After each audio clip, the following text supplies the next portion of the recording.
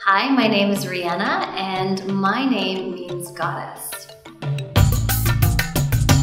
I've always been interested in uh, social justice issues, um, and a lot of the time you learn about them through documentaries. So um, I've always liked watching documentaries as a result. Um, so when I moved to Ottawa, someone had recommended I get involved with a, a local social justice documentary film festival. So I was involved with the One World Film Festival for three years. There's a lot of organization and work that goes into a film festival.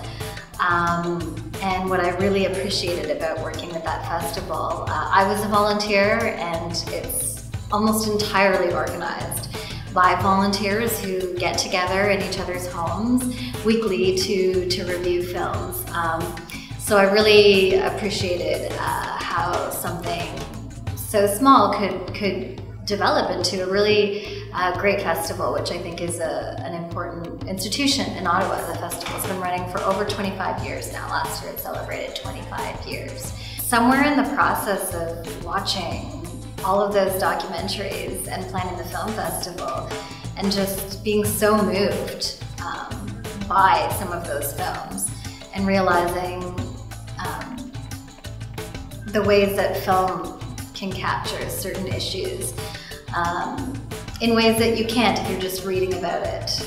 Um, so I thought I'm gonna have I'm gonna I'm gonna try my hand at this and, and uh, combine combine social issues that I'm passionate about with making it into something beautiful.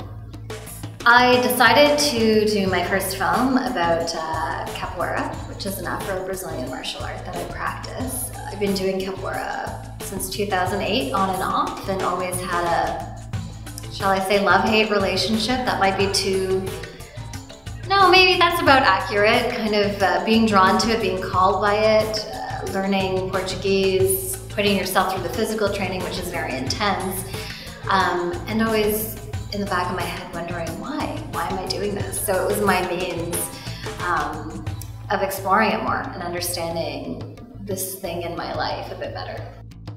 If you had to describe capoeira to someone who's never seen or heard of it before, how would you do that?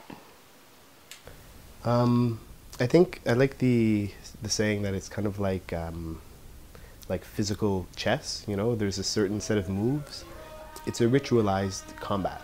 So there's certain things that you you know that you can do, you know, or that you should do, um, but it's not prescribed. You know, you're sort of you have a liberty of uh, you know dancing and moving in a certain way.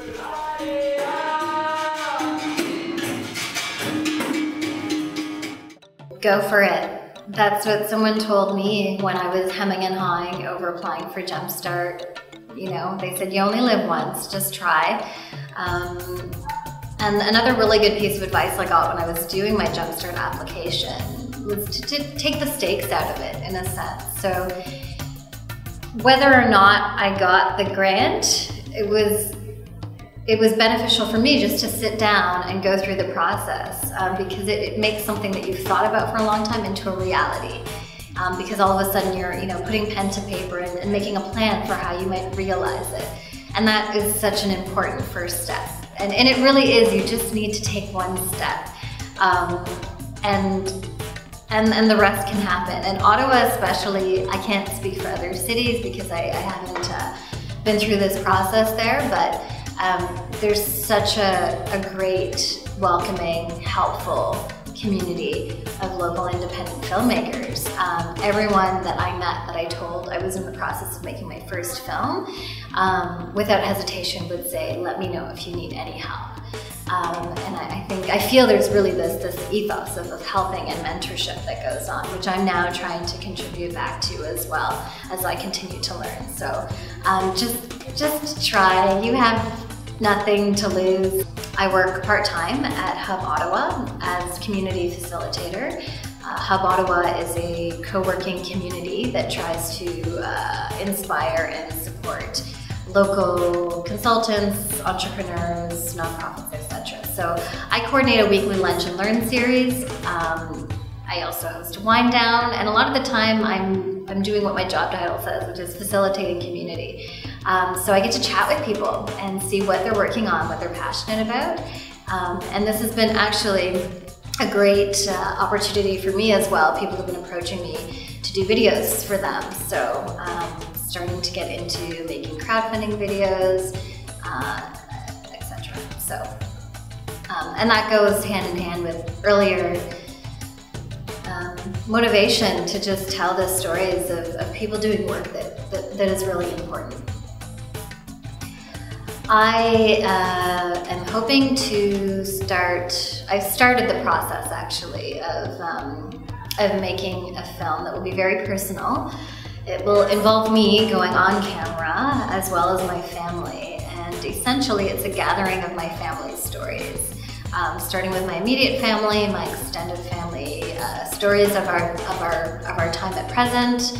Um, I was born here in Canada, but my parents immigrated here from Guyana. So I'm also hoping to gather uh, stories of, um, of our past. And I, am feeling like this is going to be an important part of, of my cultural voice moving forward as an artist.